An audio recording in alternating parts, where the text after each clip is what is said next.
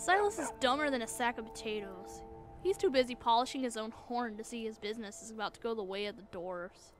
The Mortar and Pestle is two stories high, which means twice the space and twice the artifacts. I've got 'em beat by sheer numbers. Then we have the artifacts themselves.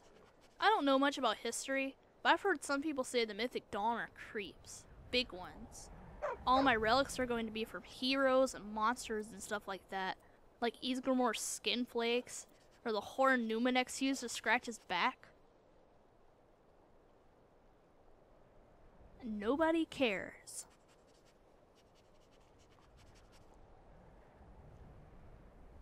Lies mostly. I mean, I could tell them the truth about you, but I figured it would be too mean. Whatever.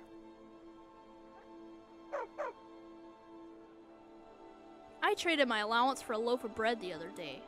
The sailor I got it from was too stupid to figure out why. That thing had a sweat stain shaped just like Talos. I'm going to make it the centerpiece of my museum.